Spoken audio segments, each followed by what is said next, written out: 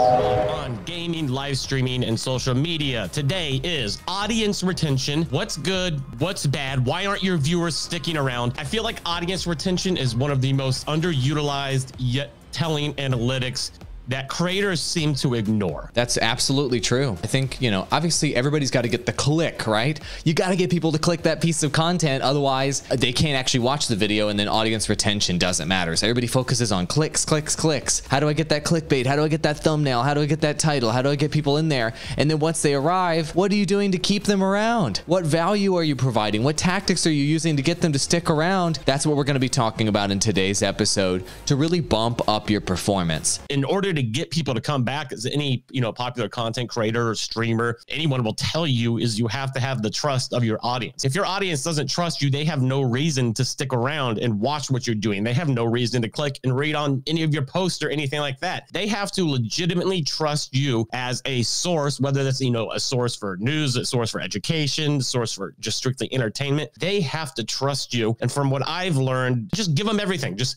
to, right up front just give them everything. Stop don't bullshit don't try and make it cute. Do something to just grab their attention, like spilling coffee on yourself. No, just give them the information. That's what the people want. They don't necessarily care about you, they care about your product. So don't make it about you, make it about the message, give them everything up front. That's been my secret to success over the last eight years. Give your audience as much value as possible, as quickly as possible, without yeah. all the rigmarole that truly yeah. makes sense. And we talk about this how cringy it is. If, for example, when you're watching a YouTube video, before they even start the content, they tell you, hey guys, you know, be sure to subscribe and be sure to like. And oh, it really helps me out. And, you know, you should check me out on Twitter and Instagram.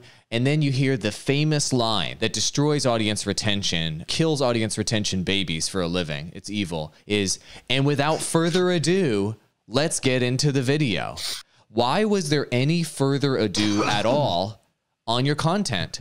Why did you say anything at all that required you to then say, now we're going to get into the content? The only exception there should be to that is if a sponsor is paying you to have the pre roll spot on the beginning of your content and you're playing their ad, then okay. Yeah. Okay. So, first of all, one of the things that I've heard is, and I, I think you pretty much just confirmed this the first 15 seconds are when viewers are most likely to drop off, correct?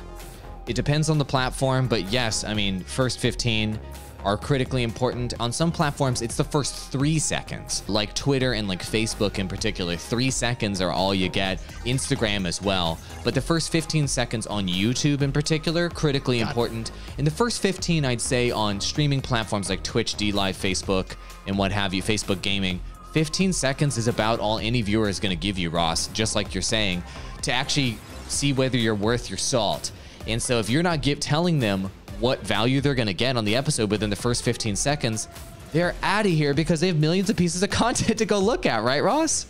Quite literally. And it's just going back to what you just said. And this is why it's so important.